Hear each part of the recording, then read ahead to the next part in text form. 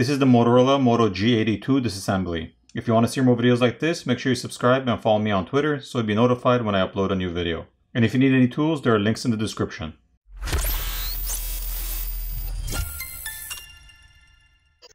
To start off, the SIM tray needs to be removed.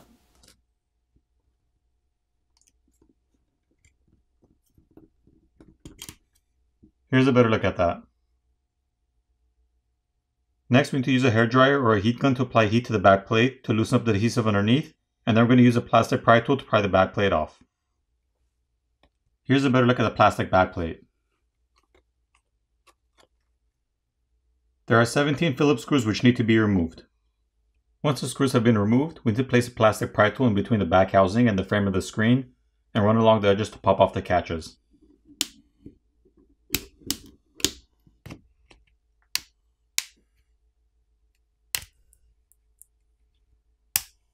And then the back housing can be lifted to the side, and the fingerprint scanner cable can be disconnected. The back housing itself is made of plastic. The camera lens covers can be replaced by applying heat and gently prying them off. The NFC antenna is located on the top center, and there's some graphite film towards the bottom over the speaker assembly. On the other side, there are numerous antenna flex cables around the border, and the LED flashboard is located here. Now the graphite film needs to be peeled off, and the graphite film helps transfer heat.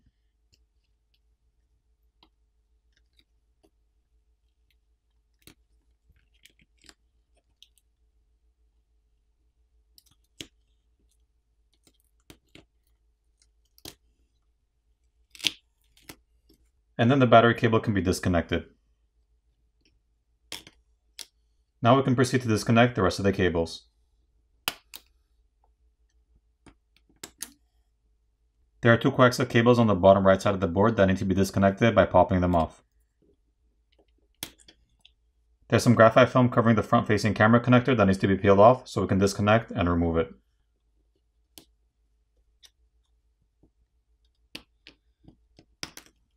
Here's a better look at the 16 megapixel front facing camera. There's a single Phillips screw on the left side of the board which is holding it down that needs to be removed. Now the main board can be lifted up and removed.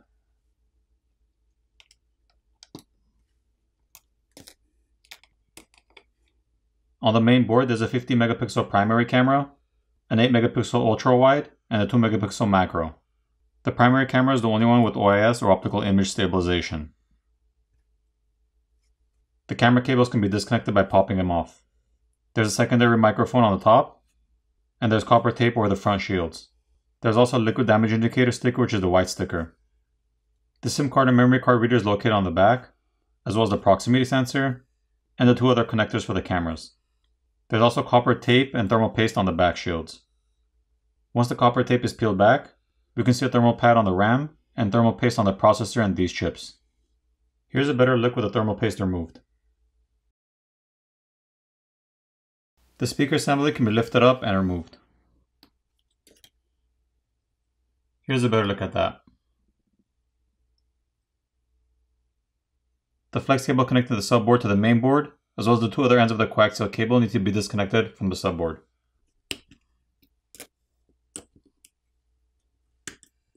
Now the subboard can be lifted up and removed. There's a rubber gasket around the charger port and headphone jack, and the primary microphone is located underneath the shield. Here's a look at the other side. To remove the battery, there are no pull tabs provided to help us pry it off, so we're going to have to use some isopropyl alcohol and apply it to the sides of the battery and let it sit for about 30 seconds to a minute so it eats away at the adhesive underneath, making it easier to pry it off.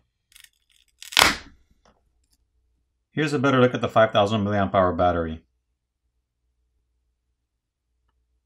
Once the battery is removed, we can see the flex cable for the screen, which is routed through an opening in the mid frame. So if you needed to replace the screen, you'd have to take the back plate off, remove the screws and remove the back housing, disconnect the battery cable and pry the battery off, giving you access to the screen cable. At that point, you'd heat up the front of the phone where the screen is to loosen up the adhesive underneath, pry your old screen off, apply new adhesive, reapply the new screen, making sure you run the flex cable back through the opening in the mid frame, and reassemble the phone. The vibrator motor is located on the bottom corner and held down with some adhesive. The flex cable for the volume keys and power buttons located on this side and that's also held down with some adhesive. And the same goes for the earpiece speaker which is located on top. There's another liquid damage indicator sticker on the frame underneath the SIM reader, and one which goes underneath the charger port. For the repairability score on this phone, I give it a 5 out of 10. Now it's time to put the phone back together.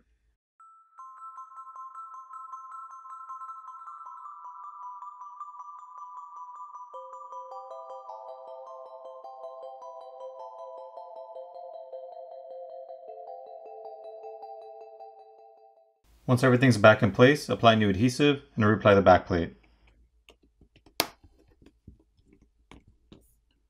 Flip over the phone, power it on, and you're done. I hope you enjoyed the video and I'll see you in the next one.